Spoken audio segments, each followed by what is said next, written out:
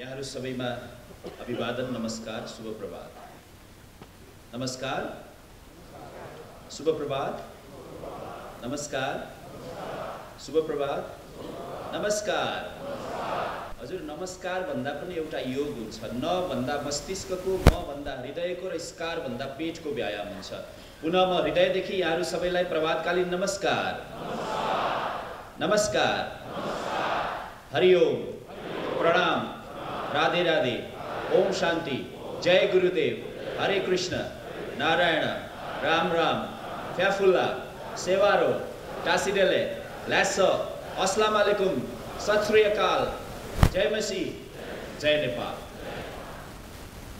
समादरणीय प्रमुख अतिथिज्यू हाम्रा राष्ट्र सेवामा समर्पित सम्पूर्ण आत्माहरू। हाम्रो जीवन बडो गजबको छ जब हामी आमाको पेटमा आयौँ केसको टुप्पाभन्दा पनि सानो हाम्रो आकृति थियो।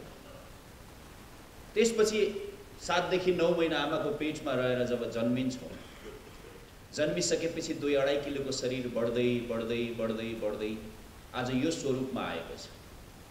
फेरि यो शरीर आफ्नो आयु आफ्नो कार्मिक एकाउन्ट र आफ्ना कर्तव्यहरूलाई यसले भोग गर्छ प्रयोग गर्छ। अनि फेरि घट्दै घट्दै जान्छ।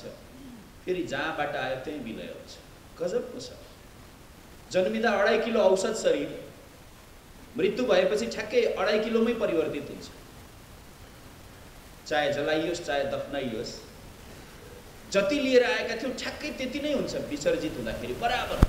कुनै दुर्घटनामा या कुनै पशुले हामीलाई खाएर मृत्यु भयो भने पनि त्यसको पेटबाट निस्किने मल गोबर त्यति नै हुन्छ। जति लिएर आएका थियौँ ठिक त्यति मात्रै लिएर जान्छौँ हामी। यो यो बिचमा हाम्रो जीवन कस्तो हुन्छ? हामी कति सुन्दर राख्छौँ कति स्वस्थ राख्छौँ कति शानदार राख्छौँ। एउटा भनाइ छ जीवन आर्जन मात्रै होइन जीवन मिसन हो। जीवन करियर मात्रै होइन जीवन मिसन हो। घर प व्यवहार परिवार मात्रै होइन जीवन लक्ष्य हो। त जीवनको लक्ष्य के हुनसक्छ हजुर? जीवन सुख र स्वास्थ्यको यात्रा हाम्रा तिन सम्पत्तिहरू छन्। हामी अहिले प्रेजेन्टेसनमा हेर्छौँ। प्रेजेन्टेसनलाई कृपया अलिकति शीघ्र प्रस्तुत गरिदिनु म अनुरोध गर्छु। दोस्रो सम्पत्ति स्वभाव तेस्रो सम्पत्ति स्वरूप शारीरिक शरीर फिजिकल बडी भौतिक शरीर यसको क्वालिटी र विशेषता हो स्वास्थ्य चेतनाको शरीर जसलाई मन भनिन्छ मनको स्वभाव हो मनको सम्पत्ति मनको विशेषता हो स्वभाव र यो दुइटैभन्दा भित्र अभिन्न अन्तरङ्ग अर्को एउटा निकाय छ अर्को एउटा सत्ता छ। त्यसको नाम हो आत्मसत्ता। स्वको सत्ता सेल्फ जो इनर्मस्ट छ सबभन्दा अन्तरङ्ग छ। जहाँ अनुभूतिहरू छन् जहाँ फिलिङ्सहरू छ जहाँ संस्कारहरू छन् जहाँबाट निरन्तर अविच्छिन्न प्रकाश आउँछ। जसले चार्ज भइराख्नु पर्दैन ब्याकअप चाहिराख्दैन पावर पावर हाउसमा जोडिरहनु पर्दैन। त्यहाँ स्वरूप छ। त स्वास्थ्य नै बिग्रियो भने हामी स्वभाव र स्वरूपको विकासको सपनै देख्न सक्छौँ आजको दिनमा सबभन्दा महँगो चिज के होला हजुर? सबभन्दा महँगो चिज। कसैले धन घर घडेरी पद प्रतिष्ठा देश विदेश जाने क्षमता भन्दा। तर व्यवहारिक रूपमा भन्नुपर्दा आजको दिनमा सर्वाधिक महँगो वस्तुको नाम हो रोग बिमारी। स्वास्थ्य होइन के हो हजुर? सबभन्दा महँगो चिज? रोग बिमारी स्वास्थ्य त निशुल्क छ। स्वभाव त निशुल्क छ। स्वरूप त निशुल्क छ। तर महँगो चिज त्यसको दुरुपयोगबाट जुन परिणाम निस्क्यो त्यो महँगो छ। आज सर्वाधिक रोग महँगो छ। अस्पतालहरूमा आइसियु खाली छैन। औषधिले काम गर्न छोडिरहेको अवस्था छ। बच्चाहरू एबिसिडी पढ्न छोडेर A for apple B for ball हाम्रा नानी बाबुहरू पढ्छ। अब जमाना आइसक्यो A for ulcer B for blood pressure C for cancer D for diabetes E for epilepsy F for fatigue पढ्ने बेला आइसक्यो। किनभने घर घरमा रोग यति धेरै बढ्यो त्यसकारण जागौँ यो शानदार जीवन यो अलौकिक जीवनलाई हामी चलाउन जान्यौँ भने पक्कै पनि हाम्रो शरीरमा रोग कम हुन्छ। यहाँहरूसँग उभिएर प्रेजेन्टेसन गर्ने अनुमति चाहन्छु।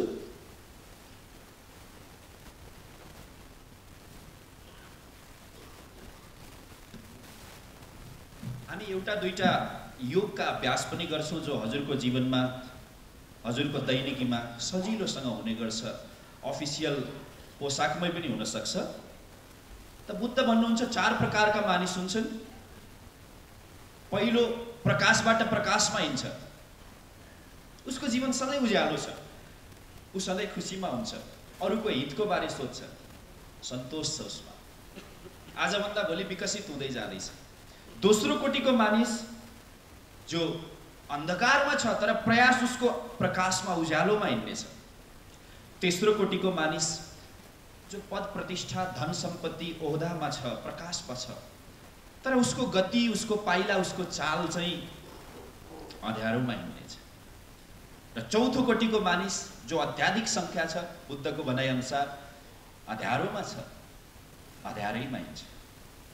त हजुर हामी अहिलेको युगमा जहाँ छौँ आफूलाई जहाँ छौँ भन्ने हाम्रो अनुभूति छ त्यहाँबाट प्रकाशमा हिँड्नुपर्छ र यद्यता चरति श्रेष्ठ देवे तरोजन सयत प्रमाणम गुरुते लोकस्तदनुवर्तते।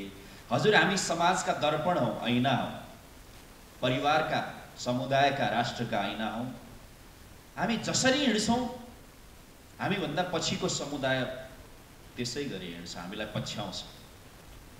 एउटाले आकाश हेरेछ। चलन के छ? एउटाले जे गर्छ अरूले त्यही गर्छ। धेरै भिड भएर आकाश हेर्न थालेछन् अर्को थप्यो आकाश हेऱ्यो अर्को थप्यो आकाश हेऱ्यो। एकजना सज्जन आइपुगेछन् उनले पनि आकाश हेरे। खास केही देखेनन् सोधेछन् भाइ हो किन आकाश हेर्नुभयो जवाफ दिए अरूले हेरेको देखेँ मैले पनि हेरिदिएँ। अर्कोलाई सोध्दै गएँ तपाईँले किन आकाश हेर्नुभयो? हजुर सबैले हेरेको देखेँ मैले पनि हेरेँ। उसले सोध्दै गयो सोध्दै गयो अन्तिम व्यक्तिलाई सोध्यो जसले आकाश हेर्न सुरु गरेका थियो तपाईँले चाहिँ किन आकाश हेर्न सुरु गर्नुभयो? उसले जवाफ दियो मैले आकाश हेरेको होइन हजुर। मेरो घाँटी नै यस्तै हो। वास्तवमा समाजमा रोग बढ्दैछ हामी रोग हेर्छौँ। तनाव बढ्दैछ तनाव हेर्छौँ। ए हजुर होइन। प्रकाशमा हिँड्ने व्यक्तिले आफूलाई हेर्छ भित्र हेर्छ आत्मालाई हेर्छ स्वभावलाई हेर्छ स्वरूपलाई हेर्छ अनि स्वस्थ हुन्छ। त बुद्धको यो भनाइसँगै अलिकति यहाँ फोन्टले हामीलाई साथ दिएन म यसको अर्थ लगाउँछु। हाम्रो स्थायी ठेगाना कहाँ होला? हाम्रो स्थायी ठेगाना कहाँ होला हजुर? हाम्रो नागरिकतामा पासपोर्टमा जुन छ त्यही हो स्थायी ठेगाना। तर जिम रोन भन्ने वैज्ञानिक भन्नुहुन्छ हाम्रो स्थायी ठेगाना अर्कै छ। त्यो हो यो शरीर। मेरो मन र मेरो आत्मा यो शरीरमा बास बस्छ। त्यो घरमा आफूले कति मेहनत गरेर घर बनाइन्छ त्यसमा सधैँ बस्नु पाइँदैन। र सायद त्यो घर आफूसँगै जाँदैन पनि। र यो घर आफूसँगै रहन्छ जीवन पर्यन्त। यो घर स्थायी ठेगाना चाहिँ यो हो। यो ठेगानालाई यो वासस्थानलाई यो निवास स्थललाई यो आफ्नो बसोबास केन्द्रलाई माया गऱ्यौँ भने हामी स्वस्थ हुन्छौँ सुखी हुन्छौँ भन्नुहुन्छ जीव त अलिकति यो शरीरलाई थोरै एउटा दुईवटा योगद्वारा हामी जाँचेर हेरौँ। कृपया म दुवै हात उठाउन अनुरोध गर्छु। सकेसम्म अडेस नलाग्दा राम्रो हजुर। अब दुई हातले हत्केलाले आकाश देखाइदिउँ त। कुइनालाई सिधा राख्ने प्रयास। हजुर जहाँ हुनुहुन्छ त्यहाँबाट खुट्टालाई थोरै उठाइदिउँ। अब जाँचेर हेरौँ के हाम्रो हत्केलाले पुरै आकाश हेरेका छ। यदि साँच्चै साँच्चै मजाले सजिलोसँग आकाश हेऱ्यो भने हाम्रो पाचन पेट सफा छ भन्ने बुझिलिनुपर्छ। यदि आकाश हेर्न मानेन भने पेटको पाचन त्यति राम्रो छैन भन्ने बुझ्नुपर्छ। एकपल्ट लामो सास लिउँ त हजुर। मुखबाट निकालिदिउँ। नाकबाट अक्सिजन भरौँ। मुखबाट निकालिदिउँ। पुनः भरौँ। मुखबाट निकालिदिउँ। एकपल्ट मुठी बनाऊ मुठीलाई घुमाइदिउँ। उल्टो पनि घुमाइदिउँ। र एकुप्रेसर रिफ्लेक्सोलोजिकल फाइदा हुने गरी मजाले ताली बजाइदिउँ त हजुर। सुन्दर। हस् धन्यवाद।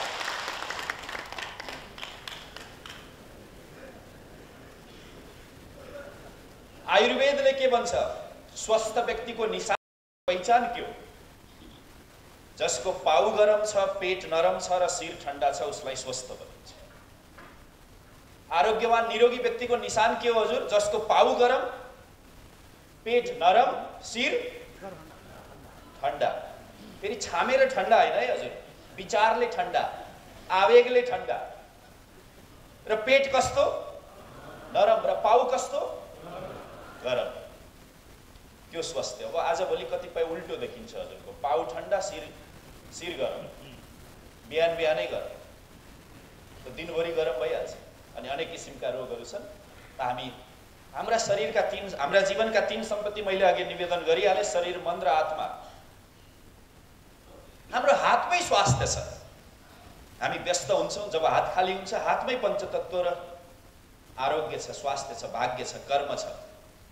होइन सेवा सबै हातमा छ। हातका रेखाहरू भाग्य। हातका साना साना पोइन्टहरू स्वास्थ्य। र हातले गर्ने पुरुषार्थ कर्म। यदि जानियो भने हजुर हामी व्यस्त हुँदा हुँदै काम गर्दा गर्दै हातबाट स्वास्थ्य प्राप्त गर्न सक्छौँ। बुढी औँला अग्नि तत्त्व चोरी औँला वायु तत्त्व माझी औँला आकाश तत्त्व साइली औँला पृथ्वी तत्त्व र कान्छी औँला जल तत्त्व त्यही भएर देखाउने गरिन्छ। यसो देखाइयो भने जल विसर्जन केन्द्र शौचालय कता हो? जल तत्त्वको प्रतीक।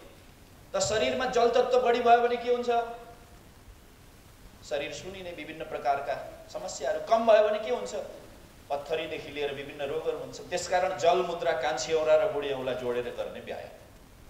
खाली छौँ यात्रामा छौँ मिटिङमा छौँ ट्राभलमा छौँ च्याक्क राखिदियो बेरोजगार छोड्नुभन्दा नि शुल्क फाइदा लिनु राम्रो चोरी औँला र बुढी औँला जोडिदिउँ ज्ञान मुद्रा भयो ग्यास्ट्राइटिस एसिडिटी पेटका अग्निबान्ध्य अजीर्ण रोग ठिक गर्छ कम गर्छ फाइदै फाइदा तनाव बढ्यो क्रोध बढ्यो आवेग बढ्यो माझी औँला र बुढी औँलालाई जोडिदियो यसको नाम हो प्राण मुद्रा या शून्य मुद्रा फाइदै फाइदा र आजभोलि विश्वमा र नेपालमा सर्वाधिक गतिमा बढ्दो रोगको नाम हो हृदयजन्य रोग कार्डियोभेस्कुलर डिजिज अनेक प्रकारका हृदयका रोगहरू र हृदयलाई बचाउने मुद्रा चोरी औँला घुमाइदिएर बुढी औँलाको फेदमा निहुर्याइदिउँ माझी औँला र अनामिका औँला साइली औँलालाई बुढी औँलाको फेसमा जोडिदिउँ यी फाइदा यदि हजुर योगा मेडिटेसन गर्नुहुन्छ भने यो मुद्रामा राख्यो भने मुटु स्वस्थ हुन्छ।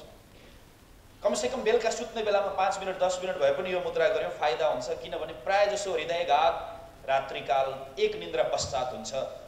जब तमगुण हुन्छ हामी हाम्रो शरीरमा बाहिरी गतिविधि शून्य भएको हुन्छ। भर्खर खाएको साँझमा खाएको खाना पुगेर रगतमा बोसोहरू चिल्लोहरू मिलेको हुन्छ त्यो बेला प्रायः हृदयघात हुन्छ। यसले अलिकति भए पनि फाइदा गर्छ। त मुद्रा हातमै। त हाम्रा महान ऋषिमुनिहरूले यस्ता अनेक उपहारहरू हामीलाई दिएका छन्। जो यो उपहार बिर्सिन्छ उसलाई मूलमा भुल गरेको भनिन्छ। जो यो उपहारलाई सम्झिन्छ उसले मूल याद गरेर स्वस्थ हुन्छ। त हाम्रो शरीर अस्वस्थ भयो भने रोग विकार। मन अस्वस्थ भयो भने मानसिक तनाव अशान्ति depression frustration aggression regression compulsion obsession fragmentation के के के के मनोरोग। त्यस्तै हाम्रो आत्मा अस्वस्थ भयो भने कर्म बिग्रिन्छ। जसलाई समाजमा पाप र अपराध भनिन्छ। आत्मा स्वस्थ भयो भने मान्छे आनन्दित सन्तुष्ट हुन्छ। आत्मवत सर्वभूतेषु सबैलाई आफू जस्तो देख्छ। परद्रव्यसु लोष्टवत अरूको सम्पत्ति अरूकै हो मेरो होइन भन्ने बुझ्छ। अनि आत्मैले सबभन्दा ठुलो सल्लाह दिन्छ। मन अशान्त भयो भने मानसिक रोग। एक व्यक्तिलाई ब्रेनको ट्युमर रोग लाग्यो। पन्ध्र वर्ष अगाडि तर अहिलेसम्म जीवित हुनुहुन्छ नेपाली मूलको बर्मेली हो। उहाँ आत्तिनु भएन डराउनु भएन निराश हुनु भएन। सोच्नुभयो म सकारात्मक सोचेर रोगलाई निको पार्छु आफूलाई हराउँदिनँ रोगलाई हराउँछु। उहाँ योग प्राणायाम ध्यान अध्यात्ममा हराउनु भयो आत्माको प्रकाशमा बाँच्नुभयो। आजसम्म जीवित हुनुहुन्छ नाम हो उहाँको स्वामी विवेकानन्दज्यू। उदाहरण हुनुहुन्छ हामी मध्ये कतिलाई रुगा लाग्नु हुँदैन फेसबुकमा लेख्छौँ रुगाले ग्रसित भएको अवस्था भनेर। हामी सकारात्मकता फैलाउँछौँ भने सकारात्मकतै घुमेर आउँछ। रोग व्याधि फैलाउँछौँ भने घुमेर रोग व्याधि नै आउँछ। हाम्रो हातबाट हाम्रो बाढीबाट के जान्छ त यी तिनवटा सम्पत्तिसँग हाम्रो व्यवहार कस्तो छ? हामीभित्र एउटा ऊर्जा छ जसलाई जीवन ऊर्जा प्राण ऊर्जा भनिन्छ। यो ऊर्जाको कुरा गर्नुभन्दा अगाडि अर्को एउटा योग गर्छौँ यसको नाम हो ऊर्जा प्रदायक प्राणायाम। कृपया दुवै हातलाई नमस्ते मुद्रामा राखेर मजाले कपाल भाती गर्न अनुरोध गर्छु। श्वास लिने छोड्ने फोर्सफुल्ली लिने छोड्ने फोर्सफुल्ली लिने छोड्ने फोर्सफुल्ली लिउ छोडौँ फोर्सफुल्ली। मुख बन्द नाक खुल्ला आज। भित्रका अङ्ग प्रत्यङ्गमा नयाँ रक्त सञ्चार पुगोस्। लिने छोड्ने फोर्सफुल्ली। असज खाना खाएन भने कति दिन बाँचिन्छ? दस पन्ध्र दिन। पानी पिएन भने कति दिन बाँचिन्छ? पाँच सात दिन। श्वास फेरेन भने कति बेर बाँचिन्छ? पाँच मिनट। सकिन्छ हजुर यहाँ देखाउनु? गाह्रो छ। खाना खाएन भने दस पन्ध्र दिन सास फेरेन भने पानी पिएन भने पाँच सात दिन सास फेरेन भने एक दुई मिनट। कुन महत्त्वपूर्ण रहेछ? सास तर प्राय हाम्रो ध्यान त्यता नगएर गाँसमा जान्छ। जानुपर्ने सासमा। सास ठिक भयो भने गाँस ठिक भइहाल्छ। त योगले हामीलाई सासको विद्या सिकाउँछ यसको नाम हो प्राणायाम। हाम्रो जीवनमा ऊर्जा छ जो शरीरबाट निस्किन्छ मनमा पुग्छ। माइन्ड बडी इमोसन त्यो एनर्जी त्यो ऊर्जा त्यसलाई जीवनी शक्ति प्राण ऊर्जा जे भने पनि भयो कायाग्नि भन्ने जे भने पनि भयो भाइटेलिटी इम्युनिटी रोग प्रतिरोधात्मक क्षमता जे भने पनि भयो त्यो घुमिरहन्छ। हामी कहाँ केन्द्रित गर्छौँ? कहाँ कुण्ठित भएर बस्छ? प्रवाहशील भयो चलिरह्यो भने पानी बगिरह्यो भने सङ्लो पिउन योग्य हुन्छ जम्यो भने सड्छ हाम्रा ऊर्जाहरू आज हाम्रा शरीरहरूमा फसेका छन्। रिस उठ्दाखेरि हाम्रो ऊर्जा यो माथिल्लो नाइटोभन्दा माथिको भागमा फस्छ आएर त्यहाँका अङ्गहरू बिग्रिन्छन्। यसरी फस्छ खुसी हुँदा मात्रै हाम्रो शिरमा त्यो ऊर्जा स्वर्णिम प्रकाशमा जान्छ। बाँकी नेगेटिभ इमोसन्सहरूमा त्यो ऊर्जा गएर फस्छ त्यही भएर आजभोलिका रोगहरू जुन छन् विभिन्न प्रकारका बजारका साइकोसोमेटिक रोगहरू मनबाट सुरु हुन्छन् र शरीरमा देखा पर्छन्। यी रोगहरू निको पार्न हाम्रो त्यो ऊर्जालाई सकारात्मक दिशा दिनुपर्ने हुन्छ। यसको नाम हो योग। भवतापे न तप्तानाम योगो ही परमौषधम। भवताप अर्थात् अहिलेको आधुनिक नाना थरीका रोग व्याधि पीडा कष्ट तनाव द्वन्द्वबाट ग्रसित मानवलाई मुक्ति दिने नै योग र अध्यात्म। हाम्रो आँखालाई स्वस्थ राख्ने योग छ। त्यो हामी केही बेरमा गरिहाल्छौँ। स्वस्थ भयौँ भने हाम्रो मस्तिष्कले सबै जीवनका आयामहरूबारे सोच्न सक्छ। स्वस्थ व्यक्तिको दिमाग हेरौँ अस्वस्थ भयौँ भने म भगवान्सँग ईश्वर खुदासँग प्रार्थना गर्छु हामी कसैलाई कुनै रोग नलागोस्। तर रोग लागिहाल्यो भने हाम्रो मस्तिष्कमा त्यही मात्रै घुम्छ। एउटा उदाहरण रिसर्चबाट।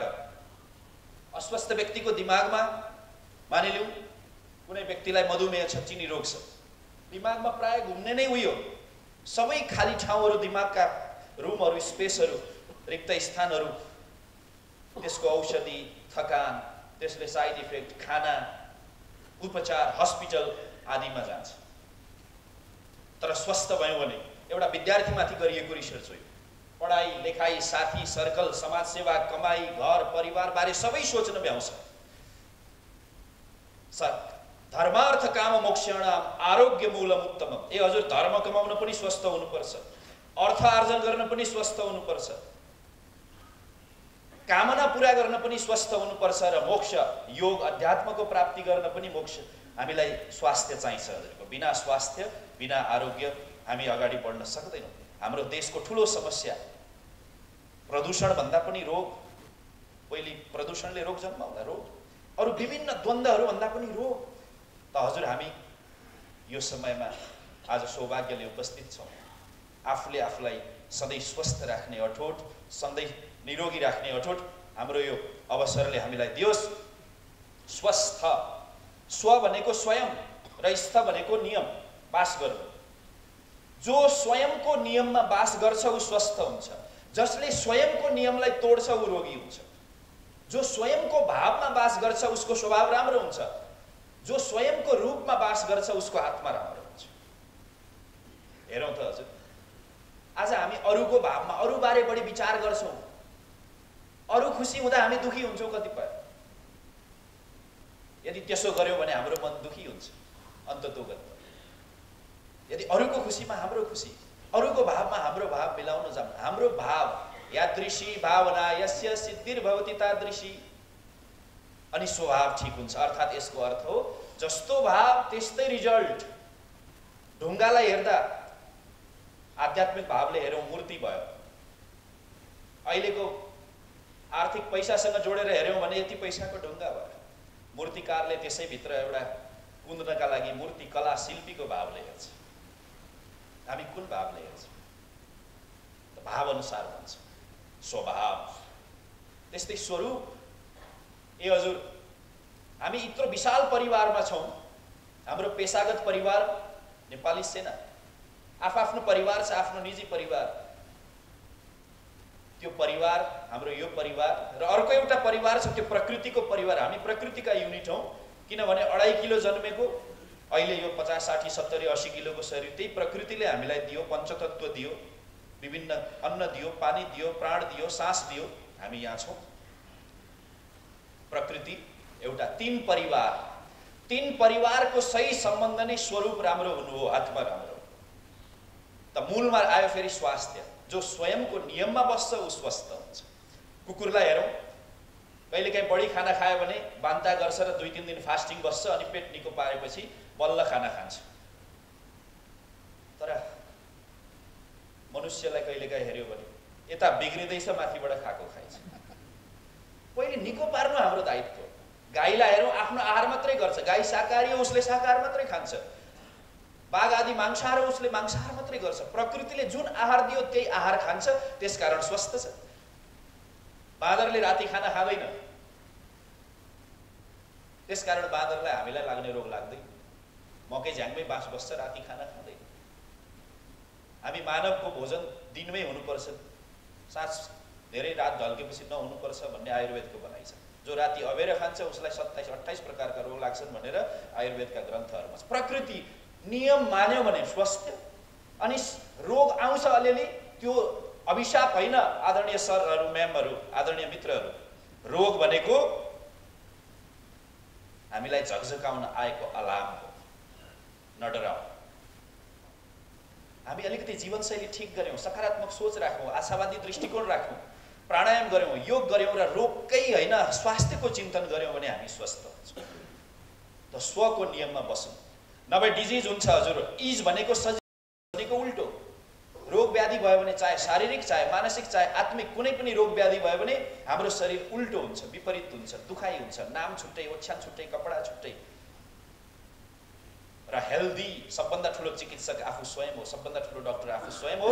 हेल्दी दाई भनेको निज हिल भनेको निको पार्नु। कुनै पनि समस्याको निदान आफू स्वयंमै छ।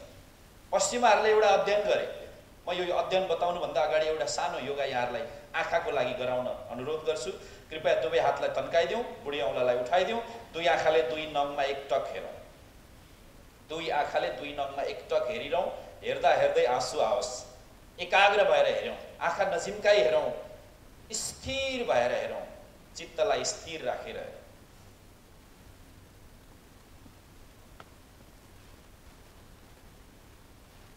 मन आनन्दित होस् प्रसन्न होस् आँखा त्यही केवल दुई नङको केन्द्रमा होस् स्थिरम सुखम आसनम तत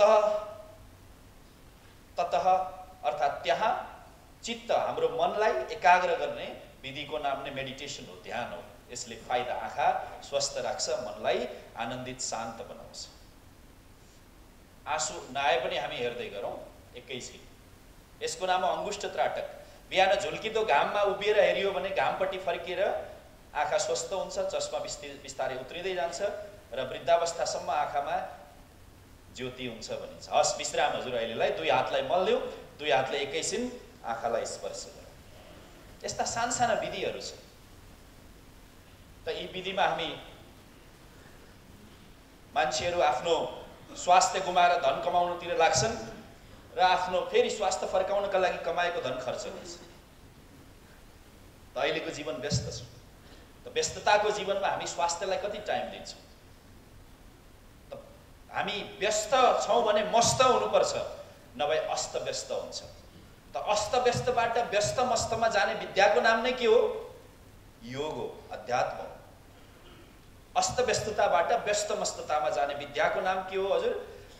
योग र अध्यात्म हो।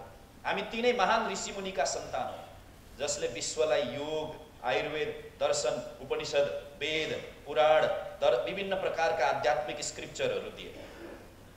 अहिले विश्वभरि योग गरिन्छ। अध्यात्मको यति धेरै विश्वमा क्रेज छ आकर्षण छ जसको मूल यही हो। छवटा ऋतु हाम्रै देशमा छ। सबैभन्दा संसारमा बढी परिकारको भोजन फल्ने यही भूमि हो। जहाँ हरेक दुई महिनामा नयाँ तरकारी अन्न सब्जी इत्यादि उपजहरू निस्किन्छ। हामी त्यो भूमिमा बस्ने व्यक्ति हौँ। त्यसकारण हामी सर्वाधिक स्वस्थ हुनु हाम्रो दायित्व हो। र स्वस्थ रहने उपायबारे विशेष खोज भएको छ। चिकित्सकहरू भेला भएर विश्वभरिका खोज केले चाहिँ व्यक्तिलाई स्वस्थ बनाउँछ भनेर हेर्दा पहिलो छयत्तर प्रतिशत योगदान खानपानको हुँदो रहेछ भोजनको हुँदो रहेछ। र बहत्तर प्रतिशत योगदान व्यायामको कसरतको एक्सर्साइजको योग र प्राणायामको हुँदो रहेछ। बाँकी अरू औषधिहरूको। इमर्जेन्सीमा औषधिले धेरै राम्रो काम गर्छ। तर जीवनशैली जन्य रोगहरूमा आधुनिक औषधि तुरुन्तै काम गर्दैन। त्यही भएर दबाई भनेको दबाउने काम गर्छ। निको पार्ने काम हाम्रो सोचले गर्छ। हजुर हामी सबैले बचत गर्न चाहन्छौँ भविष्यका लागि। कसैले सोध्यो तपाईँले आफ्नो ब्याङ्क खातामा बचत किन गर्नुभएको? हाम्रो एन्सर हुने गर्छ बुढेसकालमा रोग लाग्यो भने चाहियो नि। भनेको के रहेछ? आइज रोग आइज तेरै लागि बचत गरिरहेको छ। अब यसलाई उल्ट्याइदिउँ। स्वास्थ्यका लागि बचत गरौँ आरोग्यका लागि सुखका लागि शान्तिका लागि बचत गरौँ। हामी स्वस्थ हुन्छौँ। अनि सँगसँगै के गरौँ? थोरै समय खानपान सुधार हजुरहरू व्यायाम पक्कै गर्नुहुन्छ कसरत पक्कै गर्नुहुन्छ परेड पक्कै गर्नुहुन्छ विभिन्न प्रकारका exercise aerobics martial art physical mobility exercise हुन्छ। यसमा योग र प्राणायाम जोड जोडिदिउँ यसले हामीलाई स्वस्थ राख्छ। कसरी जोडिदिउँ हजुर? हार्डवेयर हाम्रो शरीर पन्ध्र मिनट भए पनि यसलाई दिने गरौँ शरीरका लागि।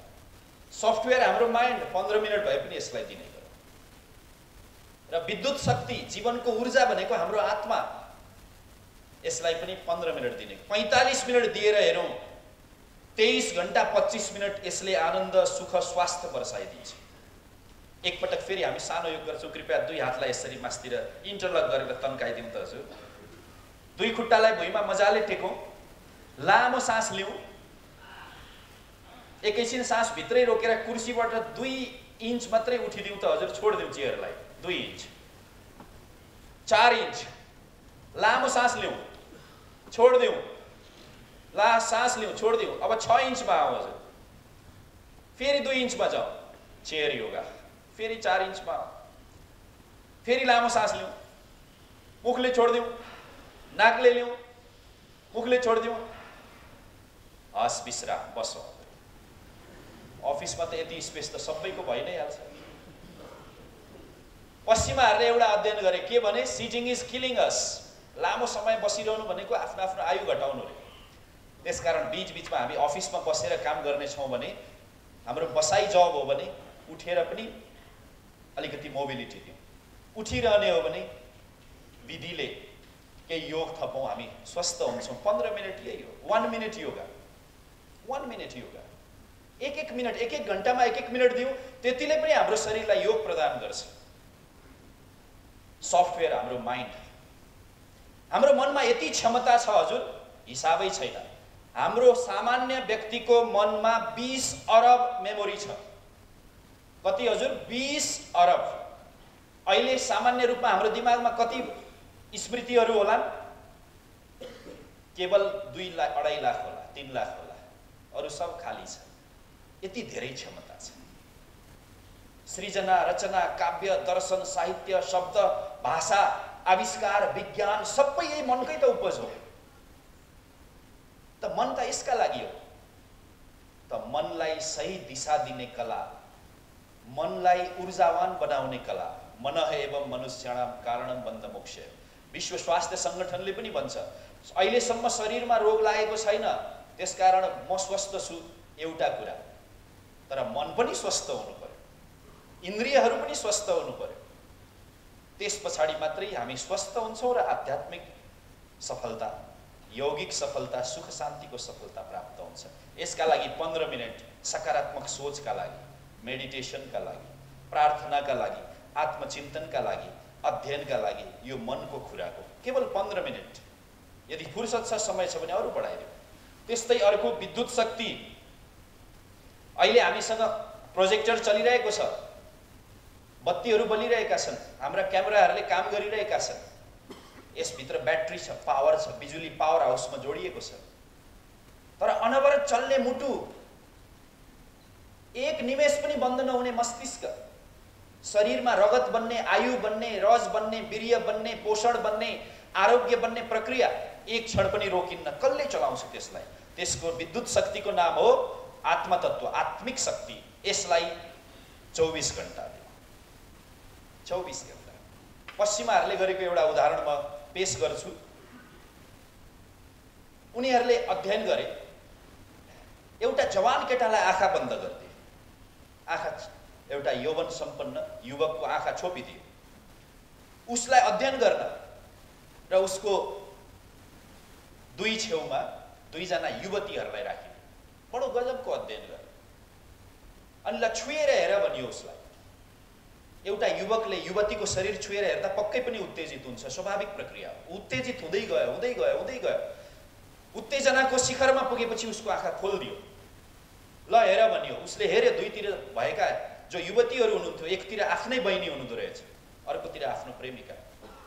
अनि त्यो बेला जसको शरीर छोएर अघि उत्तेजित भइरहेको थियो अहिले बहिनी हो आफ्नो भगिनी हो भन्ने थाहा पाउन साथ उसको मनमा उसको आत्मामा उसको शरीरमा जुन बायोकेमिकल्स बायोसाइकोकेमिकल बायोन्युरोकेमिकल जुन चेन्जेस आयो त्यसको अध्ययन गरे। जसलाई छोएर उत्तेजित हुँदै थियो त्यो उत्तेजना क्षणभरमा उसको जिरोमा आयो। जिरोमा एक सेकेन्ड पनि लागेन जिरोमा आउन। अनि उनीहरूले सन्देश दिए। जब व्यक्तिलाई साँच्चै बोध हुन्छ मैले गर्नु हुँदैन भन्ने कुरा बोध भयो भने त्यो जीवनलाई प्रकृतिमा फर्काउन एक क्षण पनि लाग्दैन। लागेन। त्यो आफ्नो बहिनीलाई छुइरहँदा उत्तेजित भएको भाव अब सकारात्मकतामा चेन्ज हुन एक सेकेन्ड पनि लागेन। हाम्रो जीवनलाई पनि कहिलेकाहीँ हामी गई सही दिशामा नलगिरहँदा यदि त्यस्तो हुन्छ भने थाहा पाउन साथ फर्केर जिरोमा आउने तर उसले प्रेमिकालाई छोएर जुन उत्तेजित भइराखेका थियो त्यो जारी थियो उसको। प्रकृति हो। त हाम्रो जीवनमा केलाई वापस ल्याउने केलाई जारी राख्ने त्यो शोधले त आत्मालाई कहिल्यै पनि प्रदूषित नबनाउनु स्वस्थ हुनु अनि आत्मा स्वस्थ भयो भने मन र शरीर स्वस्थ हुन्छ। त्यो शोधले हामीलाई सन्देश दिन्छ। त चौबिसै घन्टा हाम्रो कर्म त्यस्तो होस् हाम्रो जीवन त्यस्तो होस् हाम्रो जीवनशैली त्यस्तो होस् हाम्रो भाव त्यस्तो होस् कि हाम्रो मन र शरीरमा रोगहरू नआउ यसैको नाम अध्यात्म यसैको नाम यम नियम हो। यसैको नाम जीवनशैली हो। यसैको नाम धर्म हो। यसैको नाम आयुर्वेद हो। कति गजब सन्देश हाम्रा महान ऋषिमुनिहरूले दिए। त शरीरका लागि केही उपहार। आहार विहार योग प्राणायाम स्वास्थ्य चेतना। आहार विहार। सबभन्दा ठुलो औषधि के हो हजुर? भोजन। सबभन्दा ठुलो अस्पताल कुन हो? हाम्रो किचन हाम्रो भान्सा हाम्रो रसोई हाम्रो सबभन्दा ठुलो डक्टर को म स्वयं हजुर स्वयं आफ्नो डक्टर आफै। अरू बाँकी हाम्रा अस्पतालका डाक्टर साहबहरू त हामीलाई सहयोग गर्न हाम्रो जीवनी शक्ति बढाउन हामीलाई औषधि दिएर स्वस्थ राख्न। तर सबभन्दा मेरो शरीरलाई बुझ्ने म हो। यो आहार विहारको चेतना स्वास्थ्यको चेतना। यो स्वास्थ्यका लागि। दस पन्ध्र मिनट योग प्राणायाम। बिस पच्चिस मिनट हजुर एक्सर्साइज गर्नुहुन्छ व्यायाम गर्नुहुन्छ त्यसमा जोड दिउँ। कहिल्यै नछुटोस् योग प्राणायाम? योग भनेको जोड्ने हो। शरीरमा स्वास्थ्य जोड्ने मनमा एकाग्रता जोड्ने आत्मामा शान्ति जोड्ने यसैको नाम योग। समत्वम योग उच्यते। आपत परेका बेला अप्ठ्यारा परेका बेला ठ्याक्कै बिचमा हुने। एकाग्र हुने। न यता न उता समतामा हुने। यसको नाम योग त्यो निर्णय दिने बेलामा कुनै पनि कुराको निर्णय दिने बेलामा विवेक जसको जागिरह्यो उसलाई योगी बनिन्छ। निर्णय गर्ने बेलामा विवेकले काम गरेन भने हामी योगीमा पर्दैनौँ। त्यसकारण योग गर्नुपर्छ। हाम्रो विवेकशीलता ठ्याक्कै त्यस्तो बिन्दुमा होस् जब आपत आवेग हुन्छ त्यो बेला निर्णय शक्ति उजागर होस्। त यो योग हो। अनि यसलाई जगाउन प्राणायामले काम गर्छ। कपालभातीले काम गर्छ। सबभन्दा महत्त्वपूर्ण सास सासद्वारा रोगलाई निष्कासन गरेर सङ्कल्प शक्ति बढाउने प्राणायाम हो। अनुलोम विलोम हामी धेरैलाई थाहा छ। अनुलोम भनेको सुल्टो विलोम भनेको उल्टो। हाम्रो शरीरमा दुईवटा शक्ति धारा छन् ऊर्जा धारा छन्। एउटालाई सिम्प्याथेटिक अर्कोलाई प्यारासिम्प्याथेटिक भनिन्छ। दस पन्ध्र मिनट बिहान प्राणायाम गरौँ फेरि दिनभरि हेरौँ। त म निवेदन गर्छु यो प्राणायाम जीवनमा निरन्तर रहिरहोस्। बायाँ हातलाई ज्ञान मुद्रामा काखमा राखिदिउँ दाहिने हातलाई लगेर नाकमा राखिदिउँ। र बायाँबाट सास लिउँ दाहिनेबाट छोडिदिउँ नाकबाट फेरि दाहिनेबाट सास लिउँ बायाँबाट छोडिदिउँ पालै पिलो हजुरको बायाँबाट लिने दाहिनेबाट छोड्ने दाहिनेबाट लिने बायाँबाट छोड्ने अनुलोम विलोम यसले रक्तको शुद्धिकरण गर्छ यसले विवेक शक्तिको जागरण गर्छ हामीलाई स्वस्थ बनाउँछ हाम्रो कार्यशैलीलाई अझ कार्यक्षम बनाउँछ हजुर जहाँ जुन ठाउँमा जुन पदमा जुन ड्युटीमा जुन सेवामा हुनुहुन्छ त्यहाँ आकर्षक आदर्श बनाउँछ। थोरै प्राणायाम। गजबको चिज हो उपहार यदि ऋषि मुनिहरूले मानव जगतलाई यो विश्वलाई यदि सबभन्दा ठुलो उपहार केही दिएका छन् भने त्यो हो प्राणायाम। जुनसुकै उमेरमा गर्न सकिन्छ। हाम्रो यो फोक्सो फोक्सोभित्र यस्तो जालो छ मौरीको चाका जस्तो। त्यहाँ रगतको सफाइ हुन्छ। कुनै पनि विराम लाग्योस् हामीलाई ब्लड टेस्ट नगरी रोग पत्ता लगाउँदै लाग्दैन हरेक रोग निको पार्न हाम्रो रगत शुद्ध हुनुपर्छ र रगत शुद्ध गर्ने फ्याक्ट्री शरीरमा तिनवटा छन् फोक्सो कलेजो र मृगौला सबभन्दा द्रुत गतिमा रगत सफा हुन्छ फोक्सोमा जसले प्राणायाम गर्छ फोक्सोमा भएका चालिस करोड कोठाहरूमा अहिले धेरै बन्द छन् सात आठ करोडमा मात्रै रगत छानिने काम भइरहेको छ तर जसले प्राणायाम गर्छ अनुलोम विलोम भस्त्रिका भ्रामरी इत्यादि उसको शरीरमा रगत शुद्ध हुँदै जान्छ फोक्सोका कोठा खुल्दै जान्छ अनि शुद्ध रगत भएपछि विचार शुद्ध जीवन शुद्ध धर्म दर्शन अध्यात्म साहित्य इत्यादिप्रति हाम्रो लगाव जाग्छ। मस्तिष्कका दुई गोलार्ध छन् बायाँ र दायाँ। दुइटैको बराबर विकास हुन्छ। एउटामा तर्क छ अर्कोमा फिलिङ्स छ। दुइटैको बराबर सन्तुलित विकास हुन्छ। त हाम्रा जीवनका गल्तीहरू घट्दै जान्छन् जीवनका राम्रा विशेषताहरू बढ्दै जान्छन् प्राणायाम गरिसकेपछि। त्यस्तो विद्या हो प्राणायाम। त रोग त निको पार्छ नै विभिन्न प्रकारका। त म सबैसँग बिन्ती निवेदन प्रार्थना गर्छु। थोरै भए पनि यो प्राणायामका लागि समय दिउँ। र कतिपयको मनमा म एक्सर्साइज गर्छु मैले योग गर्न आवश्यक छ अहिले पश्चिमी अनुसन्धानले भन्छन् exercise is physical fitness yoga is physical culture exercise is physical fitness yoga is culture योग जोडिदियो भने एक्सर्साइजले परिपूर्ति गर्न बाँकी रहेका जुन भागहरू छन् तिनीहरूको व्यायाम गर्छ। त्यो हो योग। व्यायाम मात्रै गर्दा थाकिन्छ हजुर। एक्सर्स योग गर्दा थाकिन्न। व्यायाममा सासमा ध्यान दिइन्न। योगमा सासमा ध्यान दिइन्छ। व्यायाममा मनमा कतिपय ध्यान दिइन्न। योग गर्दा शरीरको क्रिया मन र सास एकै ठाउँ हुन्छ। त्यसकारण योगले जीवन लम्ब्याउँछ। व्यायाममा हेर थक विश्राम पुगेन आराम पुगेन भने व्यायामले हामीलाई थकाइदिन्छ। त दुइटैलाई मिसाइदिउँ। हजुर योग एक्सर्साइजहरू गर्नुहुन्छ भने योग छोडिदिउँ। फाइदै फाइदा। अनि शरीरलाई सन्तुलित रूपमा बलिष्ठ बनाउँछ। त धेरै प्रकारका प्राणायामहरू छन्। हजुरहरू धेरै सचेत पनि हुनुहुन्छ यसमा कतिपय प्र्याक्टिसमा पनि हुनुहुन्छ। र अर्को हाम्रो पाचन सिस्टम। सर्वेसाम गाडाम निदानम कुपिता मल सबैजसो रोगहरूको जन्मभूमि यो पेट हो र सबैजसो सुख शान्तिको जन्मभूमि यही पेट हो। पेट स्वस्थ भयो भने जीवन स्वस्थ रगत शुद्ध विचार स्वस्थ। पेट अशुद्ध पेटमा विकारहरू थुप्रियो सडियो भने विचारहरू पनि त्यस्तै बनाउँछ। त्यसकारण पेटलाई स्वस्थ सफा राख्ने हाम्रो प्रथम दायित्व हुनुपर्छ भनिन्छ आयुर्वेदमा। र अहिलेको आधुनिक विज्ञानले पनि। त पेटलाई स्वस्थ राख्न अनेक विधिहरू छन्। सम्भव भयो भने हामी गर्न सक्छौँ। बिहान पाँच मिनट लाग्छ। मन तातो पानी पिउने कागती थोरै राखेर। बिहान चिसो पानी नपिउनु भनिन्छ। बिहान तिन पाउभन्दा बढी पानी पिउनुपर्छ। बिहान खाली पेटमा पानी नपिउनु भनेको इन्धन नहाली गाडीलाई ठेल्नु जस्तै हो ठेलेर कति बेर चल्छ? पानी पिइसकेपछि त्यो रातभरिको ऊर्जालाई शान्त गर्छ मल विकारलाई निष्कासन गर्न सहयोग गर्छ रगतलाई अम्लीयबाट क्षारीय बनाउँछ। त बिहान चट्ट पानी पियो। अनि यो चारवटा आसन गर्यो शौचालय जानुभन्दा अगाडि।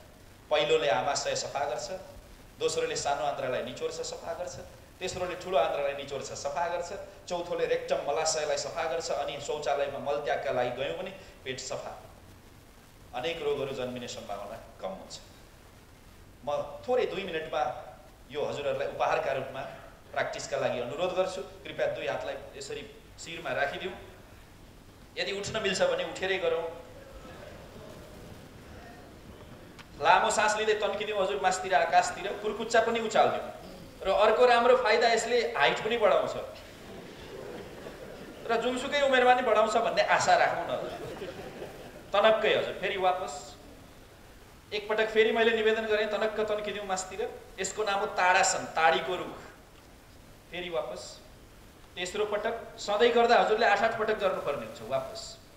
हातलाई शिरमै राखिदिउँ खुट्टाको बिचमा अलिकति ग्याप बढाइदिउँ। हातलाई तन्काइदिउँ माथितिर। लामो सास लिउँ बायाँतिर देब्रेतिर हजुरको लेफ्ट ह्यान्ड साइड ढल्क्यौँ। फेरि बिचमा आउँ हजुर। लामो सास लिउँ दाहिनेतिर ढल्कौँ यसको नाम हो कटी चक्रासन फेरि बिचमा आउँ। यी पालै पिलो। यसले सानो आन्द्रालाई निचोर्ने काम गर्यो त्यहाँ भित्र जमेका फोहोर मैला विकार छन् भने त्यसलाई निकालिदियो अब हातलाई अगाडि ल्याइदिउँ हजुर अब कटी चक्रासन कम्मरलाई मर्काएर पछाडि यसरी घुम्ने एक हात काँधमा अर्को हात कम्मरमा यसरी पछाडि ट्याक्क पेट निचोरियोस् लुगा धुँदा जसरी शरीर हामी निचोर्छौँ त्यसै गरी शरीरलाई निचोर्ने फेरि बिचमा हजुर लामो सास लिउँ सास छोड्दै अर्कोतिर पालै पिलोइ अर्कोतिर यसलाई पेट प्रक्षालन पनि भन्छ। पेटको शुद्धिकरण गर्ने अभ्यास। विश्राम हजुरको अब बसौँ आफ्नो आफ्नो कुर्सीमा किनभने चौथोलाई ठाउँ छैन केवल म प्रस्तुत गर्छु यहाँ। यसरी गाई दुहुने आसनमा ट्याक्क बस्ने दुई हातले घुँडा समात्ने खास गरी पेटलाई थिच्नका लागि बायाँ खुट घुँडालाई ल्याएर दाहिने खुट्टाको बुढी औँलालाई छोइन छाउने अनि बायाँ खुट्टालाई ल्याएर फेरि दाहिने खुट्टाको बुढी औँलालाई छाउने। पेट थिचिनु पर्यो पछाडि फर्केर हेर्ने। पालै पिलो यसको नाम उदराकर्षण। यसको नाम उदराकर्षण। पहिलोको ताडासन दोस्रोको तिर्यक ताडासन तेस्रोको कटी चक्रासन चौथोको उदराकर्षण यसपछि शौचालय जाने बानी भयो भने पेट सफा सबै रोग दफा। जब पाँच मिनट लाग्छ व्यायाम पनि भयो। हेर्नुहोस् त फाइदै फाइदा। कति धेरै फाइदाका कुराहरू हाम्रा पूर्वजहरूले गरेका छन्। र हाम्रो जीवनको लागि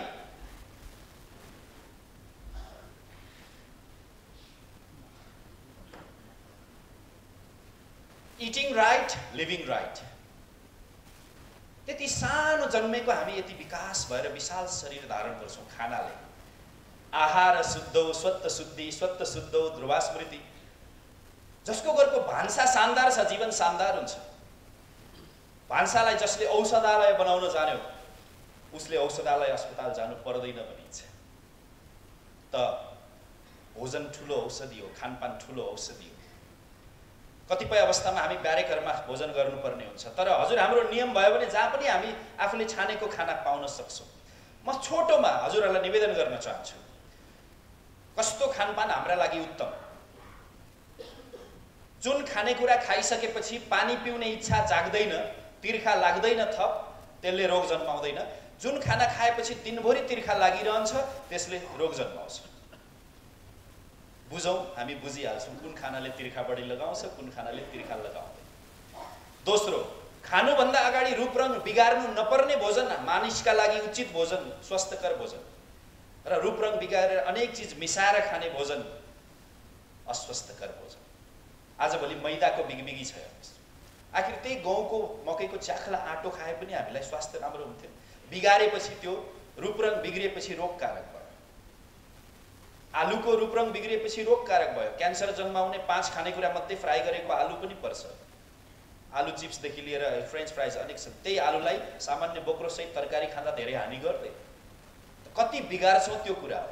जति कम बिगारेर खायो त्यति स्वस्थकर जति बढी बिगारियो त्यति अस्वस्थकर।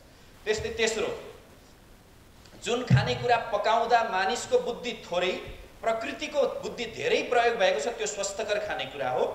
जुन खानेकुरामा मानिसको बुद्धि प्रयोग बढी भएको छ त्यो अस्वस्थकर खानेकुरा। ए हजुर हाम्रो बुद्धि खास फलाउनलाई लगाउनु पर्ने तर आजभोलि पकाउन बुद्धि प्रयोग हुन्छ। होइन? त फलाउन बुद्धि प्रयोग गरियो भने स्वस्थकर फल्छ त्यसकारण पकाउन कम बुद्धि प्रयोग भएको खाना हाम्रा लोकल खानेकुराहरू ढिँडो च्याख्ला हलुवा सेलरोटी दाल भात तरकारी मकै भुटेको फुलेको मकै बुद्धि चाहिँदैन सामान्य पढले अनपढ व्यक्तिले पनि बनाउन सकिन्छ। तर आधुनिक कतिपय खानाहरू चार वर्ष तालिम नदिई पकाउनै सकिन्न त्यसकारण स्वस्थकर खानेकुरा हामी आफै रोज्ने गरौँ। त्यस्तै अर्को खानेकुरा तिन ठाउँमा पाक्छ। पेटको चुलामा घामको चुलामा र घरको चुलामा। हामी यदि तिन टाइम तिन टाइम खान्छौँ भने एक टाइम चाहिँ घामको चुलामा पाकेको भोजन गर्ने गरौँ। शरीरमा अम्ल र छ्यारको सन्तुलित हुन्छ। विज्ञहरू भन्छन् जसको शरीरको रगत एसिडिकै एसिडिक छ अम्लै अम्ल छ रोग उसैकामा बास गर्छ। जसको शरीरको रगत क्षारीय छ रोग उसको शरीरमा बास गर्दैन। त तिन टाइम पाक्ने भोजन तिन टाइम यदि खान्छौँ भने दुई टाइम खान्छौँ भने एक पटकको चाहिँ नपकाइएको भोजन फलफुल गेडागुडी टुसाएको सलाद विभिन्न प्रकारका नरिवल काजु किसमिस इत्यादि। अनि अनेक जडीबुटी नेपालमा मात्रै हुन्छ हजुरको विश्वमा कहीँ छैन। हर्रो बर्रो अमला गुर्जो त्रिपला त्रिकटु घोडताप्रे घिउकुमारी नि शुल्क जस्तो थोरै पैसामा धेरै आउँछ यहाँ। फेरि हामीले यो यसमा ध्यान दिएनौँ भने फेरि हामी नयाँ मेडिकल औषधिमा गयौँ भने थोरै जडीबुटी धेरै केमिकल मेडिकल औषधि थोरै जडीबुटी धेरै केमिकल अङ्ग्रेजी हो एलोपेथिक औषधि। धेरै एकदमै थोरै केमिकल धेरै आयुर्वेदिक औषधि विभिन्न प्रकारका होमियोपेथी र जहाँ प्राकृतिक औषधि नै औषधि छ त्यो जडीबुटी। त हामी सिधै जडीबुटी भोजन किन गर्दैनौँ? त यसरी हामी ध्यान दिउँ र म विनम्रतापूर्वक क्षमा माग्दै भन्न चाहन्छु वास्तवमा हाम्रो स्वभाव हाम्रो मानवीय स्वभाव चाहिँ जन्मिएको होइन उम्रिएको सेवन गर्नलाई बनेको रहेछ। हाम्रो प्रकृति छ मैले यहाँभन्दा धेरै भनिरहनु परेन। कष्टका लागि क्षमा माग्छु। र हामी उम्रिएको खानालाई जन्मेका मनुष्यहरू रहेछौँ। यी भोजनका अनुशासन भयो भने हामी स्वस्थ हुन्छौँ। म अन्तिम अन्तिम क्रममा छु। तनावको जमाना छ। एकपटक हजुर सबैलाई नमस्कार। नमस्कार। नमस्कार। जसरी अगाडिबाट नमस्कार गऱ्यौँ एकपटक पछाडिबाट हात लगेर गरौँ त हजुर कतिको लचिलो छ हाम्रो शरीर। बसी बसी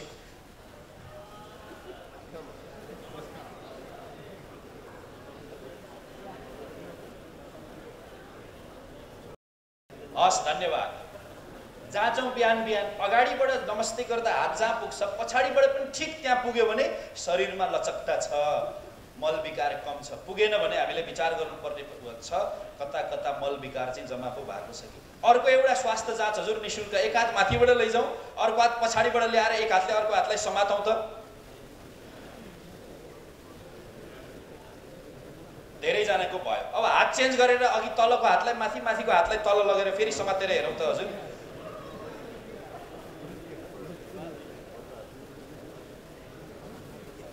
ल यसमा चाहिँ कतिपयको भयो कतिपयको हुन हुन खोज्यो कतिपयको चाहिँ निकै बाँकी छ। त हाम्रो शरीरसँग संवाद गरौँ शरीरलाई पनि कहिलेकाहीँ कुरा गरौँ शरीरसँग उनले भन्छ मलाई यहाँनिर चाहिँ व्यायाम योग उपचार चाहिएको छ। शरीरसँगको आत्मीयता नै स्वास्थ्य हो। तनावको जमाना छ। बिहान यस्तो निस्केको व्यक्ति बेलुका थाकेर जान्छ। होइन हजुर? तनावै तनाव छ। टिभी हेर्न बस्यो दुई सयवटा च्यानल घुमाएको छ आखिर खोजेको के हो थाहा छैन। यो सबै विश्वभरिको रोग। हामी यहाँको के छ रोगहरू? प्रदूषण छ पानी छैन महँगी छ जनसङ्ख्या वृद्धि छ पश्चिमी देशको आफ्नो आफ्नो समस्या छ। समस्या सबैतिर छ हजुर। विकसित देशमा आफ्नो समस्या छ। अविकसित अल्पविकसित समाजमा आफ्नो समस्या छ। हाम्रो संस्थाको आफ्नो समस्या छ। र धेरै हाम्रा राम्रा कुराहरू पनि छन्। जहाँ समस्या छ धेरै राम्रा कुराहरू पनि छन्। यही मनलाई मिलाउने त हो नि। मनलाई फर्काउने त हो नि। मनलाई सम्झाउने बुझाउने त हो नि। त मनलाई हामी कसरी बुझाउँछौँ? मनलाई बुझाउन जानिएन भने अँध्यारो छ हजुर। Depression frustration suppression regression aggression obsession fragmentation ए हजुर सबभन्दा ठुलो वरदान हो यो शरीर जिन्दगी। आमाको पेटमा छ करोड वीर्य बिजहरू आएका थिए। त्यो मध्ये एउटा छानियो त्यहाँ स्वस्थ सबल सशक्त छानिएर जन्म लियौँ हामीले। All are invited but few are chosen ईश्वर खुदा अल्लाह बुद्धले सबलाई बोलाइएको तर हामी विशेष आयौँ। मनै किन आए? एकपल्ट सोधेर हेरौँ। परमात्माले ईश्वरले खुदाले हामीलाई विशेष कामका विशेष लक्ष्य विशेष उद्देश्य विशेष प्रयोजनका लागि छानेको छ। र देशमा अनेक प्रकारका जागिर र सेवाहरू छन्। म राष्ट्र सेवामा राष्ट्रको पहरेदारीमै किन छु? यसको पनि रहस्य छ। यदि यसमा गम्भीर भएर विचार गऱ्यौँ भने मन कहिल्यै दुखी हुँदैन मनलाई सम्झाउने नभए त दुखी र भगवान्ले आशीर्वाद दिँदा पनि दुखी हुन्छ मान्छे। एउटाले बेलुका साँझमा घुम्न निस्किएछ पानी परेर चिप्रेर लडेछ। भगवान्लाई धारे हात लायो। भन्यो कति बाठा भगवान् पहिले लडायो अनि बिजुली चम्किएछ अनि लाइट बालेर हेर्दैछ लड्यो कि लडेन भनेर। मन सकारात्मक भयो भने जतासुकै वरदान जतासुकै आफ्नो संसार जतासुकै साथीभाइ इष्टमित्र। त सकारात्मकता नभए नेगेटिभिटी आउँछ। मानसिक सोच एउटा सोच आकारमा साह्रै सानो हुन्छ। तर त्यसले जीवनमा धेरै ठुलो प्रभाव पार्छ। सलाइको काँटी कत्रो हुन्छ धेरै सानो। तर कतिवटा रुख जलाउन सक्छ? अनन्त अथा एक शब्द सानो हुन्छ। म बुवा आमासँग बस्छु। र मसँग बुवा आमा बस्नुहुन्छ भन्नुमा कति फरक छ? आकाश जमिनको फरक छ। भन्नुपर्ने के हो? म बुबा आमासँग बस्छु बुवा आमासँग बस्ने सौभाग्य मैले पाएको छु भन्नुपर्ने आजभोलि कति मेरै भागामा परेका छन्। आखिर भन्ने त हो भाषा न हो तर सँगलाई कता लाउँछु? मसँग बुवा आमा या बुवा आमा मसँग? या बुवा आमासँग म? कला हो हजुर मनको कला त्यो सँग शब्दलाई कता लाउने? त्यस्तै हो। जीवन सकारात्मक रह्यो भने ए हजुर यहाँबाट मास्तिर सिँढी उक्लेर जाँदा र ओर्लेर आउँदा कुन सुल्टो? उक्लिँदा सिँढी मास्तिर बगेको छ ओर्लिँदा सिँढी तलतिर बगेको छ कुन सुल्टो हजुर? दुइटै सुल्टो दुइटै उल्टो। हाम्रो अनुहार जता फर्किएको छ त्यतै सुल्टो। हो हाम्रो सोच कता फर्किएको छ जीवनमा? यदि आशावादिता छ भने जतासुकै वाह आशावादी। म समर्थ छु सबल छु। म एउटा सरकारी सेवामा छु जो कि हरेक विश्वका युवाहरूको ड्रिम हुने गर्छ वा क्या शानदार छ? यदि भएन भने हाम्रो नेगेटिभिटीतिर गयो भने हामीलाई त्यस्तै प्रेरणा हुन्छ गीत सुन्दा पनि त्यस्तै सुन्न मन लाग्छ मुटु माथि ढुङ्गा राखी। प्रेरणाभित्रबाट आउने सोचले नै हो हजुर र सोचलाई ठिक गर्ने ध्यान। चौबिस घन्टा कर्मयोग बिस मिनट ध्यान योग। चौबिस घन्टा यो मन चलिरहन्छ शरीर चलिरहन्छ यसलाई ऊर्जा दिन्छ बिस मिनट दस मिनट पन्ध्र मिनट आधा घन्टाको ध्यानले। त हामी जाँदा जाँदै दुई मिनटको ध्यान गर्नेछौँ। यदि तपाईँ व्यस्त हुनुहुन्छ भने बिस मिनट कम्तीमा ध्यान गर्नुहोस्। यदि तपाईँ अत्याधिक व्यस्त हुनुहुन्छ भने एक घन्टा ध्यान गर्नुहोस्। बढी दाउरा काट्ने बन्चरो कस्तो चाहियो हजुर? धारिलो। जो जति बढी व्यस्त छौँ त्यति नै बढी हाम्रो मन धारिलो चाहियो। त ध्यान के हो मनको प्रशिक्षण मन प्रश्मनो पायो ध्यान इत विद्यते त सबैलाई म हात जोडेर बिन्ती गर्छु जीवनमा ध्यानभन्दा ठुलो उपचार र उपहार कुनै छैन हरेक समस्याको समाधान पाँच मिनटले पनि दिनभरि शान्ति दिन्छ र आत्मिक स्वास्थ्य अन्तमा शारीरिक स्वास्थ्यको कुरा गऱ्यौँ आहार विहार व्यायाम मानसिक स्वास्थ्य केले दिने रहेछ आशावादी सोच सकारात्मक सोच जीवनमा सकारात्मक दृष्टिकोण. र आत्मिक स्वास्थ्य केले दिने रहेछ हजुर? आध्यात्मिक बनौ आध्यात्मिक बन्नु भनेको आवरणमा होइन मूलमा जिउने कला. चित्रमा होइन चरित्रमा जिउने कला. भवनमा होइन भावनामा जिउने कला. र प्राप्तिमा होइन समर्पणमा जिउने कला. होइन हजुर? जीवन छोटो छ। लगभग आधाभन्दा बढी त गुज्रिसक्यो। केही बाँकी छ। यसलाई आध्यात्मिक रङ चढायौँ भने हर पल खुसी आजभोलि खुसीका लागि कन्डिसन चाहिन्छ हामीलाई। कन्डिसनल खुसी मात्रै हुन्छ। त्यो चिज रहन्जेल त्यो वस्तु त्यो सम्मान रहन्जेल खुसी मिल्छ। त्यो गएपछि खुसी हट्छ। तर सधैँ अकारण खुसी यो हो आध्यात्मिकता। यो हो आध्यात्मिकता। जनकपुरमा ती महान राजा जनक उनका गुरु अष्टावक्रलाई सोधे जनकले। मान्छेले केले हेर्छ मनुष्यले हेर्ने केले का हेर्ने शक्ति केले दिन्छ? जनकले सोधे याज्ञवल्करको जवाफ थियो सूर्यको प्रकाशले हेर्छ। जनकले सोधे यदि सूर्यको प्रकाश पनि भएन भने केले हेर्छ मान्छेले? चन्द्रमाको प्रकाशले हेर्छ। फेरि सोधे उनले जनकले गुरु याज्ञवल्कलाई यदि चन्द्रमा पनि नहुँदो हो त यो धरतीमा केले हेर्छ? ए हजुर आवाजले हेर्छ आँखा बन्द भयो आँखै देखेन भने पनि कहाँबाट आवाज आइरहेछ? त्यसले हेर्छ। र आवाज पनि नहुने हो भने केले हेर्छ हजुर? याज्ञवल्कले भने आत्माले हेर्छ। हजुर हामी हाम्रो आत्मालाई नमार्नु हेर्न लायक बनाउनु नै अध्यात्म। एक्लो बस्दा कसैले नदेख्दा पनि आत्मा खुसी भइरहेको छ। आत्माबाट त्यो प्रेरणा जाग्नु सही उचित हितकर गर्नलाई प्रेरणा दिनु त्यो हो अध्यात्म। अनि यसका लागि ध्यान ध्यान तप योग वेद अध्ययन तीर्थ भ्रमण अनुष्ठान माला जप आदिले सहयोग गर्ने मात्रै स्पिरिचुअलिटी भनेको रिफाइनमेन्ट परिष्कार। आध्यात्मिक बनाऊ।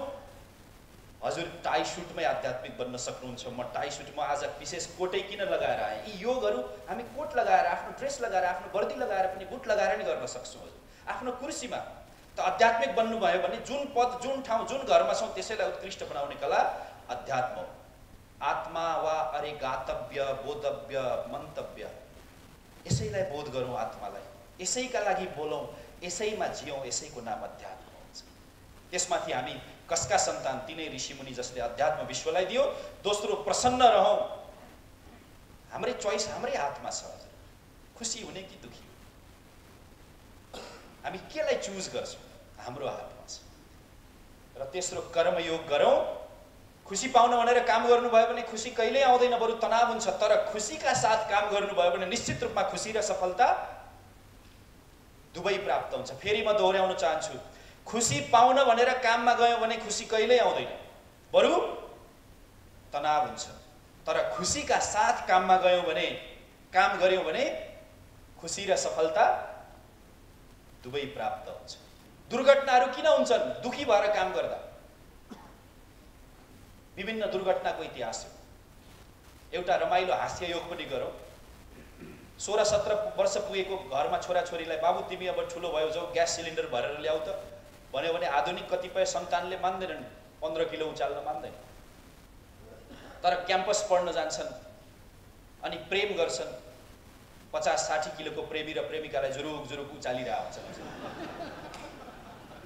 जहाँ प्रेम छ त्यहाँ तिन गुणा क्षमता बढिहाल्छ। जहाँ प्रेम छ जहाँ खुसी छ त्यहाँ क्षमता ल यदि हजुर खुसीका साथ सेवामा हुनुहुन्छ भने विचारौँ बिहान कार्यालय आउनुभन्दा बेलुका जाँदा हजुर अझ हल्का भएर खुसी भएर जानुहुन्छ भने हजुर अध्यात्मिक हो म अध्यात्मिक हो हामी सबै अध्यात्मिक हो। होइन थाकेर जान्छौँ हारेर जान्छौँ निराश भएर जान्छौँ भने जिन्दगी अध्यात्मवादी भएन हजुरको त्यसकारण बेलुका फर्किँदा फ्रेसनेसका साथ फर्किने कला के हो? अध्यात्म हो खुसी हो। मेरो अन्तिम अन्तिम स्लाइड छ। गड जी जेनेरेट बिहान पाँच मिनट दस मिनट बिस मिनट आँखा चिम्लेर बसेर राम्रो विचारलाई जेनेरेट गर। राम्रा विचारहरू सुनौ। राम्रा पुस्तकहरू पढौँ। राम्रा प्रवचनहरू सुनौ। त्यस्तामा मन गएन भने आँखा चिम्लेर भए पनि प्रकृतिसँग संवाद गरौँ। विश्वास छ परमात्मामा भने खुदा अल्लाह बुद्ध परमात्मा ईसासँग बसेर संवाद गड जेनेरेट ओ अपरेट दिनभरिको कामलाई कर्मण्यवाधिकारस्ते माफलेसु कदाचन। ए हजुर म त मजाले काम गर्ने हो। रिजल्ट त प्रकृतिले दिन्छ। नियतिले दिन्छ। यो हो अपरेसन कर्मयोगी बन्ने कला। र लास्टमा डिलिट बेलुका निदाउनु अगाडि डिलिट गरिदिउँ हजुर। कुण्ठालाई। नभए हामी वृद्ध अवस्थामा भजन गाउँछौँ। वैकुण्ठ लैजाऊ यहाँ चाहिँ कुण्ठै कुण्ठा कसरी जाने वैकुण्ठ?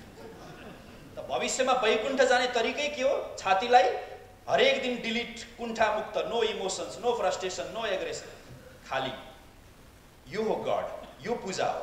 बिहान उपासना दिउँसो साधना बेलुका आराधना।